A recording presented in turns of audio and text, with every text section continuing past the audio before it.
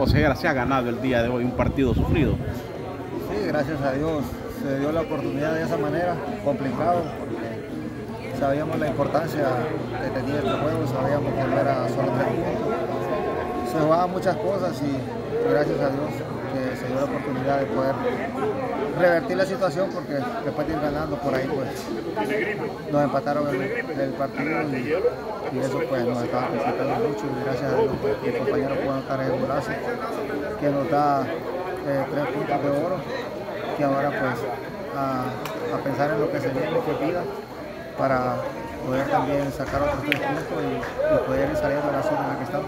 Ahora, o sea, ¿qué pasa con el Real Sociedad? En los últimos minutos casi casi siempre les empatan los partidos.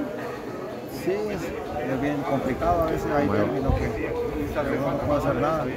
Difícil que vayamos con, con 11 jugadores, ellos con 10 y, y que nos, nos, metan esos goles.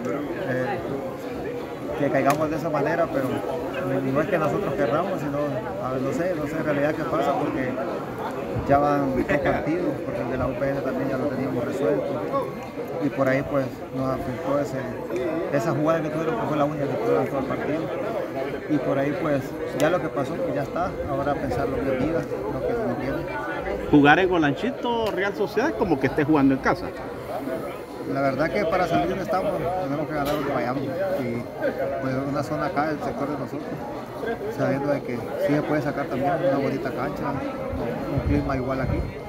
Por ahí pues pensando que sí podemos sacar las cosas vamos a hacer todo lo que esté en nuestro alcance para poder sacarlo